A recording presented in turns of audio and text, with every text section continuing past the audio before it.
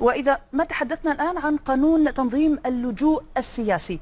قانون جدا مهم ونحن نسأل هنا عن شروط وأيضا مزايا هذا القانون. ما وصلني من معلومات عن قانون تنظيم اللجوء السياسي؟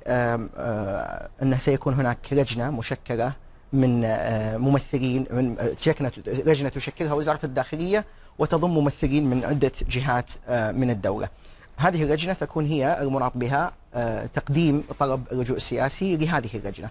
من ناحية الشروط أنا يعني استطعت أن أحصل على بعض الشروط من ضمنها ألا يكون سبق وارتكب جريمة حرب أو أي أعمال تخالف ميثاق ميثاق الأمم المتحدة أو أو ولم ولم يكن متورط في جرائم غير مسيسة.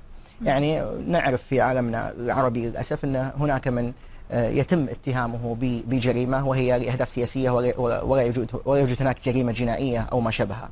ألا يحمل أكثر من جنسية، ألا يحمل أكثر من جنسية دوله ويكون يحظى بحماية أحد هذه الدول لأنه من ضمن المزايا التي ستقدمها دولة قطر للاجئ السياسي من تقع عليه الشروط أنها تقوم بحماية هذا الفرد وإن كان يحمل أكثر من جنسية وكانت هذه إحدى هذه الدول تحميه فلا لا تنطبق عليه الشروط. أيضا ألا أيضا الا يمارس نشاطا سياسيا داخل دولة قطر بعد حصوله على اللجوء السياسي، وفي حال خالف هذه خالف هذه الشروط بعد منحه اللجوء السياسي له الا يسلم إلى أي دولة يخشى على نفسه منها. يعني قد يخير أن أن أنت الآن لاجئ سياسي وخالفت القانون لك أن تذهب حيثما تشاء اختار الدولة اللي أنت بها ما راح نسلمك مثلا إلى دولة تخشى على نفسك منها.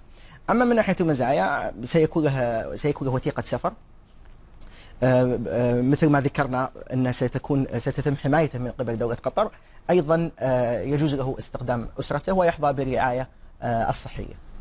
نعم سيد